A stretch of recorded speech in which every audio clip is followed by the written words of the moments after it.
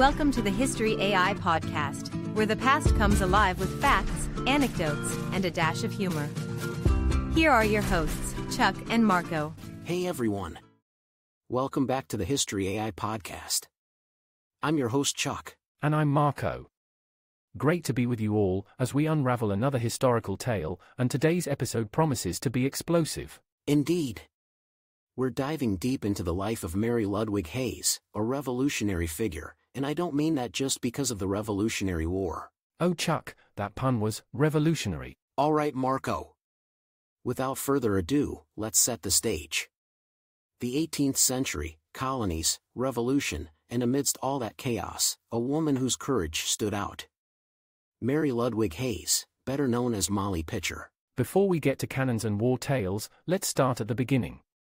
Born in 1754 in New Jersey, Mary was the daughter of German immigrants.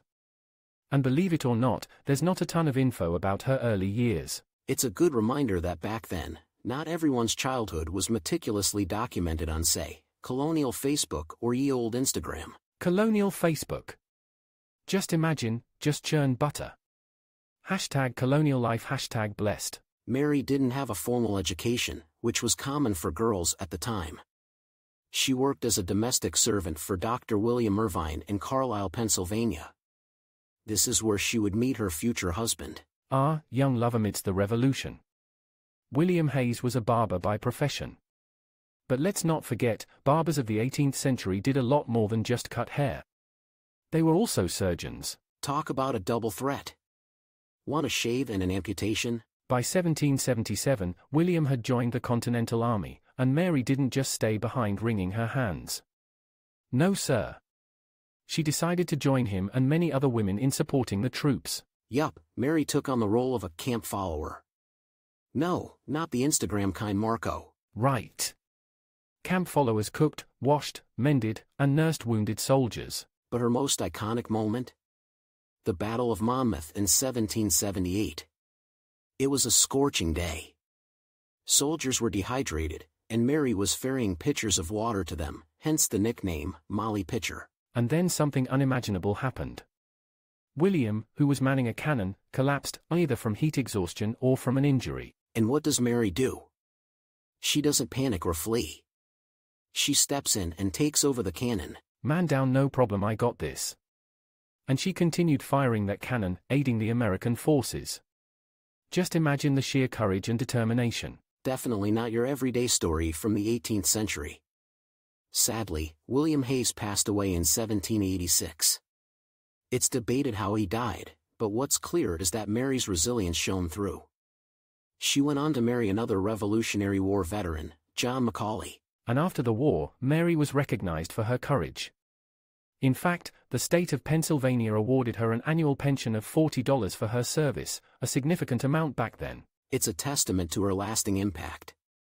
While her tale might be embellished over the years, Mary Ludwig Hays serves as a symbol of bravery, standing tall in the face of adversity. And speaking of standing tall, let's take a quick break to hear about our sponsor.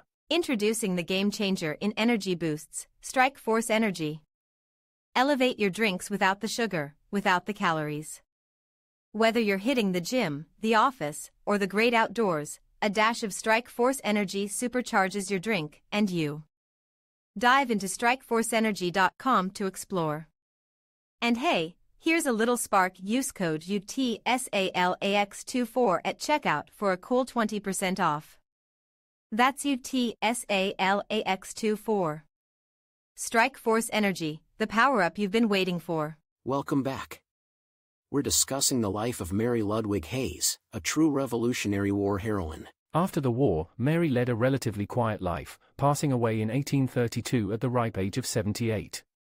A statue commemorating her bravery stands in Carlisle, Pennsylvania, reminding us of her incredible legacy. It's easy to focus on the big names of history, but stories like Mary's give texture to the tapestry of our past.